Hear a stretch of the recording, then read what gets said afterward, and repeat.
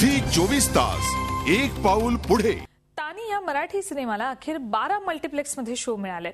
अरुण नलावडे आणि केतकी माटेगावकर यांची प्रमुख भूमिका असलेल्या तानी सिनेमाला मल्टिप्लेक्समध्ये शो लागत नव्हते. त्यामुळे झी चोवीस तासनं हा मुद्दा लावून धरला.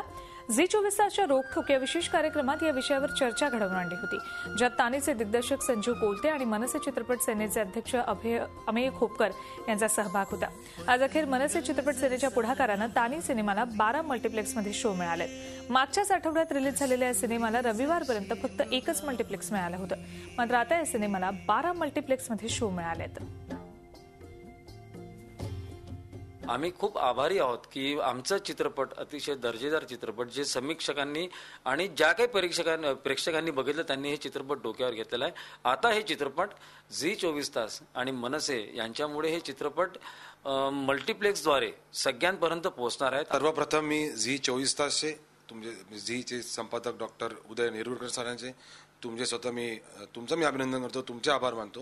कारण तुमच्यामुळे मनसे चित्रपट सेनेकडे हा विषय आमच्यापर्यंत पोहोचला. आज सकाळपर्यंत मला माहीत नव्हतं की मला थिएटर भेटणार आहे की नाही भेटणार आहे. आणि मला आता माझा डिस्ट्रीब्युटर फोन करून सांगतो की मला सगळे थिएटर भेटले जाईल.